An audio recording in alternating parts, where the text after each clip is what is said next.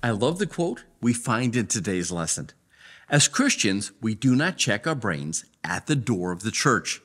Admittedly, some of the most brilliant minds and intelligent people I know, well, they're Christians. Personally, I think it has something to do with the blessings and the benefit of studying God's Word. There's just something about Bible study that increases human intelligence.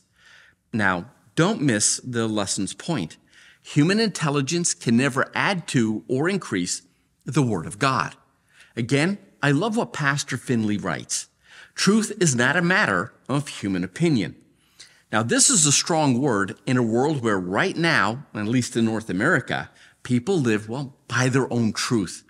A world in which feelings and personal opinion are the only truth that some people live by.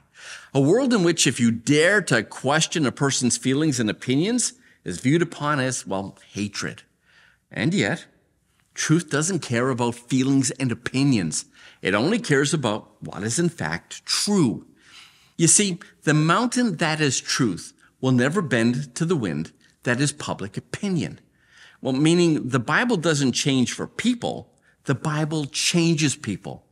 And it can do this because truth affects what we believe, and our beliefs determine, well, how we behave. And Satan knows this, which is why he is a master at deception. Think about what deception is for a moment. Deception is the art of causing people to believe that a lie is the truth.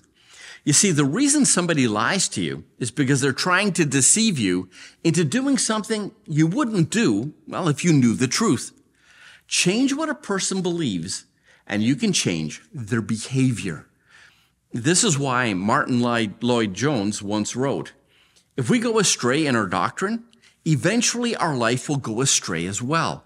You cannot separate what a man believes from what he is. For this reason, doctrine is vitally important. This is the point of this week's lesson. Light in the form of sound doctrine is our best defense against the darkness of Satan's lies. And that was our nugget for today. Thanks for stopping by. I'll see you tomorrow.